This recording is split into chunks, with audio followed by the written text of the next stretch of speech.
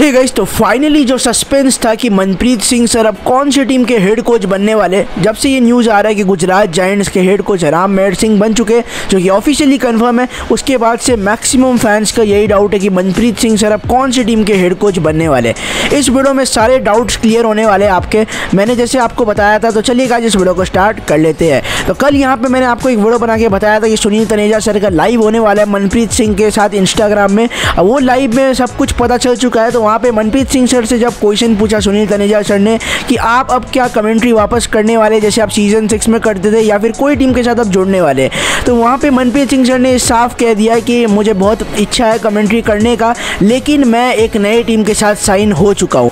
मतलब मनप्रीत सिंह सर अब एक और टीम के साथ टाइप कर चुके, एक नए टीम में साइन हो चुके हैं एज अ हेड कोच और उनके साथ साथ नीर गुलिया सर को भी साइन कर लिया गया है। आप सब जानते हैं कि गुजरात जाइंट्स के जितने फैंस हैं, आप सब जानते हैं कि मनप्रीत सिंह सर और नीर गुलिया सर दोनों एक साथ कोचिंग करते थे गुजरात जाइंट्स के लिए। मनप्रीत सिंह सर तो हेड कोच थे और Neer Gulia sir assistant coach थे, लेकिन सीज़न नाइन में भी ये डू हमें वापस दिखने वाला है। कौन सी टीम के लिए देखने वाला है, ये मैं आपको बताने वाला हूँ आगे। तो उस वीडियो में जब पूछा गया था कि कौन सी टीम के साथ अब देखने वाले तो उसको तो क्लियर नहीं किया मनप्रीत सिंह सर ने। उन्होंने ये कहा है कि दो तीन दिन में आपको क्लियर हो जाएगा सैटरडे संडे तक कोई टीम अनाउंसमेंट कर देगी कि मैं और नीर गुलिया कौन सी टीम के साथ जुड़ने वाले लेकिन उससे पहले फाइनली मैं खुद ही बता देता हूँ कि कौन सी टीम के साथ मनप्रीत सिंह सर और नीर गुलिया जोड़ने वाले हैं। तो यार सोर्सेज से ऐसा पता चला है कि मतलब ऑफिशियली कंफर्म तो नहीं है, लेकिन सोर्सेज से पता चला है कि मनप्रीत सिंह सर और नीर गुलिया सर यहाँ पे हरियाणा स्टीलर्स के हेड कोच और असिस्टेंट कोच की ओर पे दिखेंगे। मतलब यहाँ पे मनप्रीत सिंह सर जो है, वो हरियाणा स्टीलर्स के जो हेड कोच बन चुके हैं और Neer Gulia sir assistant coach के रोल में दिखने को मिलेंगे हरियाणा स्टीलर्स में।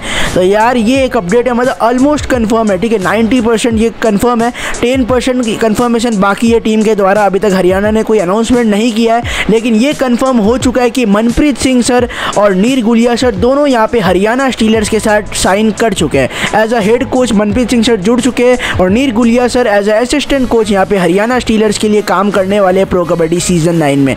तो मतलब अपने पुराने टीम गुजरात जाइंट्स को छोड़ के अब नई टीम में गए हैं हरियाणा स्टीलर्स में और राकेश कुमार सर अब हरियाणा स्टीलर्स के हेड कोच नहीं रहने वाले ये बहुत बड़ा अपडेट है। मनप्रीत सिंह का फाइनली टीम रिवील हो चुका है हरियाणा स्टीलर्स और कुछ दिन बाद ये ऑफिशियल भी हो जाएगा, ठीक है? हरियाणा खुद अनाउंसमेंट कर देगी एक दो दिन में और जैसे कोई ऑफिशियल अनाउंसमेंट आएगा, उसके बारे में मैं वीडियो बना दूँगा, लेकिन ये कंफर्म हो चुका है, लगभग 90 परसेंट कन्फर्म है, बस 10 परसेंट यहाँ पे फ्रेंचाइजी ने मतलब कंफर्म नहीं किया लेकिन वो एक दो दिन में हो जाएगा सोशल मीडिया में कंफर्म और दोनों कोचेज मनप्रीत सिंह और यहाँ पे नीर गुलिया सर जुड़ चुके हैं हरियाणा के साथ। ये तो नाइन्टी परसेंट कन्फर्म है। अगला अपडेट के बारे में बात करें हेड कोच के ऊपर तो यहाँ पे बेंगलुरु बुल्स ने अपने हेड कोच को रिटेन कर लिया है। रणधीर सिंह शेरावत सर ही वापस रहने वाले head coach pro kabaddi season nine में बेंगलुरु के लिए।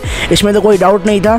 और एक और अपडेट ये आ रहा है यू मुंबा की तरफ़ से कि जो यू मुंबा की जो हेड कोच है राजागुरु सुब्रमण्यन सर जो कि सीज़न एट में कोच थे और सीज़न सेवन में एज अ प्लेयर खेले थे यू मुंबा के लिए, उनको यहाँ पे हेड कोच के रोल से चेंज करने वाली है यू मुंबा ऐसा अपडेट आ रहा है। और मेरे हिसाब से यू मुंबा एक नया कोच यहाँ पे तलाश रही है। और मेरे हिसाब से अगर मुझे पूछे तो मैं पर्सनली चाहूँगा अनूप कुमार सर ही कोच बने, जिन्होंने यू मुंबा के लिए इतना ज़्यादा कॉन्ट्रीब्यूट किया है। अगर राजागुरु सुब्रमण्यन सर यहाँ पे चेंज हो जाते हैं हेड कोच की तरफ़ नहीं दिखते हैं तो यहाँ पे अनूप कुमार सर यहाँ पे हेड कोच बन सकते हैं युवा के लिए। तो ये सारे अपडेट्स थे हेड कोच के ऊपर और फाइनली मैं एक, वापस एक बार लास्ट में मैं कंक्लूड करना चाहूँगा कि यहाँ पे मनप्रीत सिंह सर और और नीर गुलिया सर यहाँ पे दोनों एज अ कोच दिखने वाले हैं हरियाणा स्टीडर्स के लिए। तो यहाँ पे मनप्रीत सिंह सर, यहाँ पे हेड कोच बन चुके हैं हरियाणा के लिए, जो 95 परसेंट नाइन्टी परसेंट कन्फर्म है। बस मतलब ऑफिशियल कन्फर्मेशन आ जाएगा, तब तो वीडियो बनने ही वाला है। और एक और चीज़ यहाँ पे जब इंटरव्यू में पूछा गया था कि सुनील परवेश का क्या होगा, अगर सुनील परवेश रिटेन नहीं होते तो क्या मनप्रीत सिंह सर मतलब ऑक्शन टेबल में तलाशेंगे उन्हें?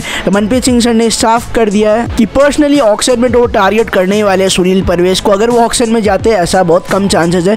उन्होंने ये कहा है कि अब सब राम मेहर सिंह सर के ऊपर है, अगर वो रिटेन नहीं करेंगे तो डेफिनेटली तलाश करेंगे सुनील परवेश का ऑक्शन में। लेकिन मनप्रीत सिंह सर खुद ये चाहते हैं कि सुनील परवेश रिटेन हो गुजरात जाइंट्स में, क्योंकि इतने साल गुजरात के लिए रिप्रेजेंट किया है। तो ये सब न्यूज़ आया है हेड कोच के ऊपर तो आपको कैसा लगा वीडियो? कमेंट करके ज़रूर बताएगा। जब तक ऑफिशियल अपडेट आ जाएगा मनप्रीत सिंह सर के ऊपर, मैं एक और वीडियो बना दूँगा। अभी तो ये कंफर्म है ही नाइन्टी परसेंट वो हरियाणा स्टीलर्स के हेड कोच बन चुके हैं। चलिएगा जिस वीडियो को हम यहीं पे एंड कर लेते हैं।